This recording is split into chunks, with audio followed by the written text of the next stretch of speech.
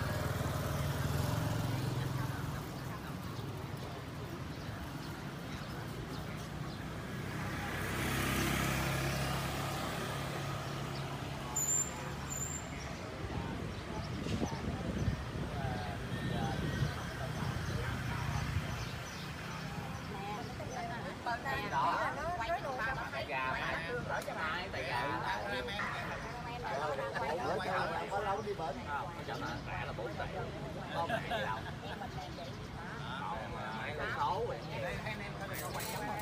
dẫn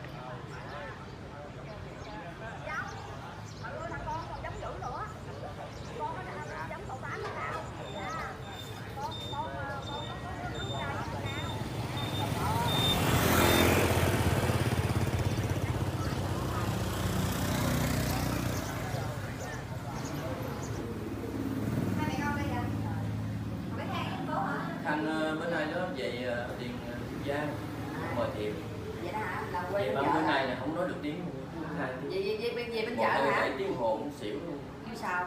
Bà ngồi đây à